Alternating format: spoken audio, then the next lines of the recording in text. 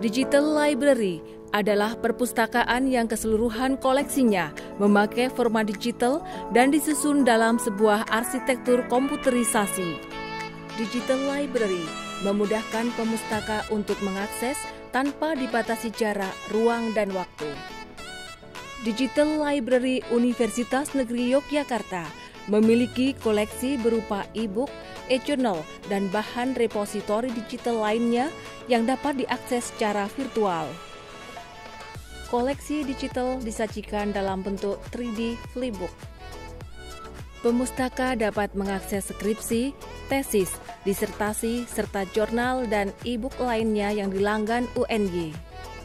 Digital Library UNY dibangun empat lantai.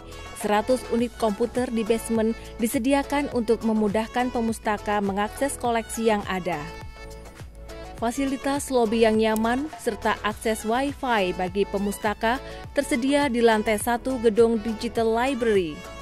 Lantai dua gedung Digital Library menyediakan private room, satu musola, dan dua ruang diskusi.